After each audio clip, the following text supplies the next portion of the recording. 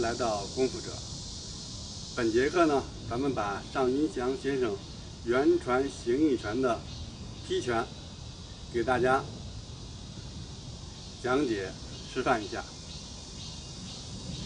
还是一样，斜向四十五度起势，